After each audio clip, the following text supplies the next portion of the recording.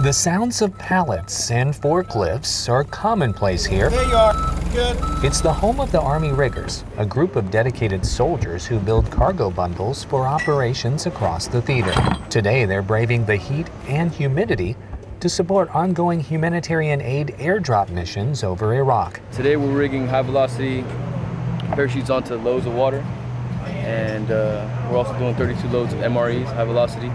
More than 20 riggers and a few airmen, airmen like Captain Joe Nash, are stepping out of their comfort zone to help the cause. This pretty much allows us to kind of feel like we're actually, uh, you know, seeing the difference in what we're doing out there. It's a full circle operation where some major construction skills and teamwork Stop. Race just a little. lead to pallets ready to roll out to the folks who need them most. Tech Sergeant Trevor Pedro, Southwest Asia.